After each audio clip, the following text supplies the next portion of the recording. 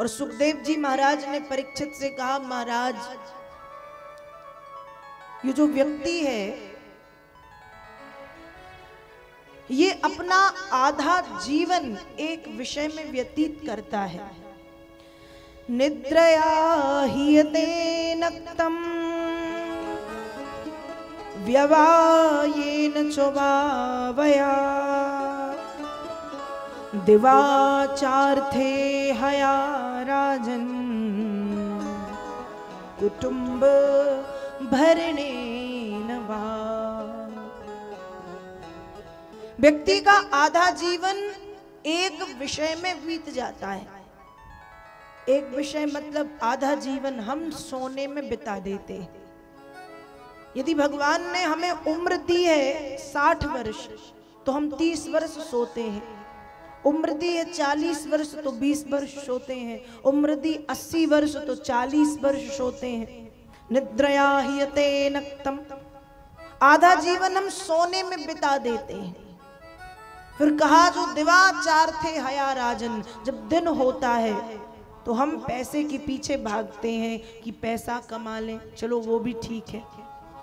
थोड़ा बहुत समय बचा तो खाने कमाने और अपने परिवार को दे देते हैं। लेकिन जिस कार्य के लिए हम आए थे, वो कार्य हमारा छूट ही जाता है।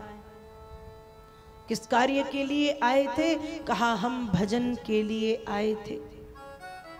भजन के अतिरिक्त हम सब करते हैं, सिवाय भजन के। तो निद्रया हियते नक्तम व्यवायेन चवावया। दिवाचार्थे हया राजन कुटुंब भरणे नवा। आधा जीवन सोने में, आधा जीवन खाने कमाने और परिवार में व्यतीत कर देते हैं। आए थे हरि भजन खो ओटन लगे कपास। 24 घंटे में से हम एक घंटा भी भगवान का कीर्तन नहीं करते और एक घंटा तो बहुत ज़्यादा है। एक घंटा का आधा तीस मिनट भी नहीं करते। वो भी ज़्यादा है। पंद्रह मिनट भी नहीं करते, वह भी ज़्यादा है। साढ़े सात मिनट भी नहीं करते और वो भी ज़्यादा है। साढ़े तीन मिनट भी नहीं करते। भजन।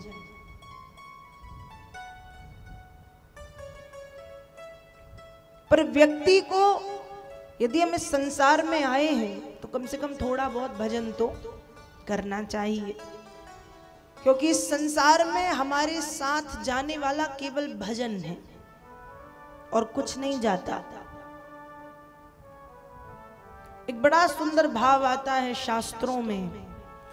धनानि भूमौ पशवश्च गोष्ठे नारी गृहद्वारि सुता श्मशाने देहश्चितायां परलोक मार्गे धर्मानि गो गच्छति जीव एका। मनुष्य का जीवन बड़ा कीमती है। हम सोचते हैं कि जब हम मृत्यु को प्राप्त होंगे तो जो धन हम जोड़ जोड़ के रख रहे हैं, वो धन हमारे साथ जाएगा। पर आपने किसी को धन बाँध करके ले जाते हुए देखा है। देखा है? हाँ या ना? देखा है? आपने देखा है? देखा है? नहीं। क्योंकि अपना धन जो हम जोड़ते हैं वो हमारे साथ नहीं जाता। धनानी भूमौ, भूमि, पृथ्वी हमारी प्रॉपर्टी है, हमारे पास इतने बीघा ज़मीन है, इतने एकड़ ज़मीन है तो क्या लाद के ले जाओगे ऊपर?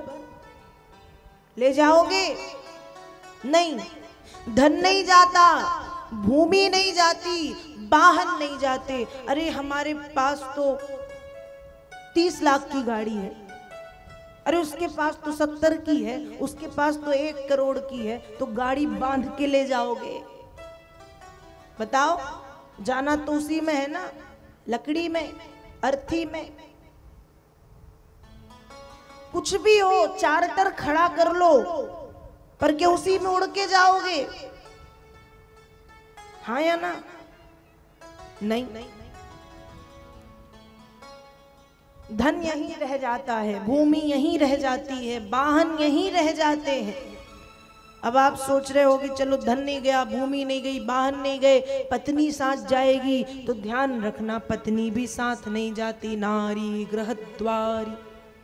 पत्नी घर के द्वार तक जाती है, ज़्यादा से ज़्यादा आँगन तक जाएगी, उससे ज़्यादा स्मशान तक जाएगी। मरघट तक जाएगी, वो भी लौट के आ जाती तो नारी ग्रह द्वारी, पत्नी घर के द्वार तक। सुता स्मशान सुता कहते हैं पुत्र को, संतान को। तो संतान साथ जाती है? जाती है? नहीं जाती। संतान कहाँ तक जाएगी? स्मशान स्मशान तक। और स्मशान में भी आग लगा देती है हमको। अपनो सुतो मुख लूघर दई है। अपनो सुत लूघर समझते हो? बताओ लूघर समझते हो? नहीं समझते। लूघर कहते हैं, चूल्हा तो जानते हो ना, चूल्हा? चूल्हे में भोजन पकाते समय लकड़ियाँ लगाई जाती लगाते हैं ना? वो गर्म लकड़ी, अंगार वाली लकड़ी, उसको देहातों में कहते हैं लूघर क्या कहते हैं? लूघर तो अपनो सुत मतलब अपना खुद का बेटा क्या करता है? मुख लू घर दई है, जला देता है। पड़ो रहे धन धाम, और भजन बिन है चोला बेकाम। अपना खुद का बेटा आग लगा के आता है। धन नहीं जाता वाहन नहीं जाते ज़मीन जायदाद नहीं जाती, पत्नी नहीं जाती, पुत्र नहीं जाता। तो ये शरीर जाता है। बताओ, जाता है? अरे, खुद का शरीर नहीं जाता। तो कहाँ तक जाता है? देहश्चितायाम। देह चिता तक जाता है। और चिता में ये साठ किलो, ये सत्तर किलो, ये अस्सी किलो, ये नब्बे किलो, ये सौ किलो का शरीर चिता में जल कर के इतना लंबा, चौड़ा, मोटा, तगड़ा शरीर एक लोटे में समा जाता है। समाता है कि नहीं? जल गए, अभी तो इतने लंबे चौड़े हैं, बैठने के लिए इतनी जगह लग रही है। फिर जब जल गए तो इतने से हो जाते हैं, लोटे में राख को भर के हमारे शरीर की गंगा जी में पहुँच जाते हैं, बहा दिया जाता है। तो जिस शरीर को हम बहुत संभाल के रखते हैं, ये शरीर भी हमारे साथ नहीं जाता।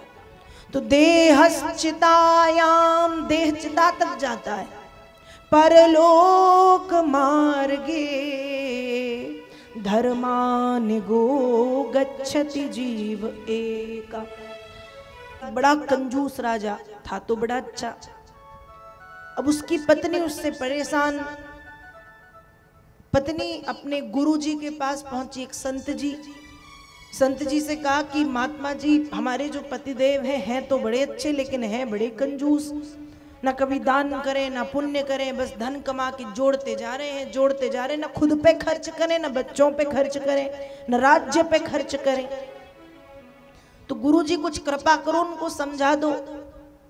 संत जी ने कहा, ठीक है, चिंता मत करो, आज शाम को मैं आऊँगा। अब संत जी राजा से मिले, और राजा अपने काम धाम में, राज्य के कोई काम में व्यस्त था। संत जी आए, राजा ने प्रणाम किया। संत जी ने राजा को एक सुई दी। सुई समझते हो? कपड़े सिलने वाली। एक सुई दे दी। और राजा से कहा महाराज मैं जा रहा हूँ इस पृथ्वी को छोड़ के मेरा समय पूरा हो गया। कभी भी मर सकता हूँ। इसलिए काम करना ये जो मेरी सुई है मैं तो ले जा नहीं सकता तुम ले आना।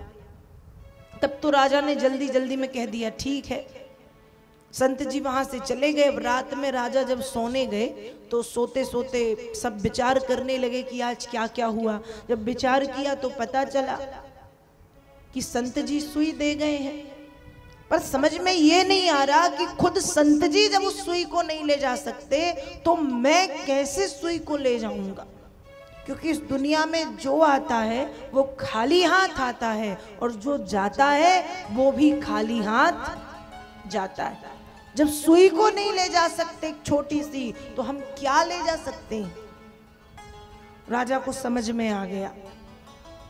कि व्यक्ति के साथ कुछ नहीं जाता। व्यक्ति के साथ केवल व्यक्ति के सुंदर कर्म जाते हैं। व्यक्ति का धर्म जाता है और जो थोड़ा थोड़ा भगवान का नाम हम कभी कभी लेते हैं, वो भगवान का नाम हमारे साथ जाता है। बाकी सब इसी पृथ्वी पर रखा रह जाता है, यहीं पर मिट्टी में मिल जाता है। इसलिए व्यक्ति को चाहिए कि वो थोड़ा थोड़ा भजन अपने जीवन में करता रहे। थोड़ा थोड़ा भजन अपने जीवन में करता रहे। सुखदेव जी महाराज ने सम्राट कर्मयोगी परीक्षित को इस तरह से समझाया है कि महाराज, व्यक्ति अपना जीवन व्यर्थ के कार्यों में नष्ट कर देता है। पर व्यक्ति को जो करना चाहिए, व्यक्ति वो नहीं करता। और करना क्या चाहिए? कहा, व्यक्ति को भजन करना चाहिए। व्यक्ति को भजन करना चाहिए। इस तरह से श्री सुखदेव जी ने परीक्षित को समझाया है और अंत में बताया है कि महाराज, हरिनाम संकीर्तन ही इस जीवन का सार है। संसार के जितने भी सुख हैं, क्षणिक, जिस सुख का कभी अंत नहीं होता, उसे अनंत सुख कहते हैं। और भगवान नाम संकीर्तन से या भगवान की कृपा से उस अनंत सुख की प्राप्ति होती है।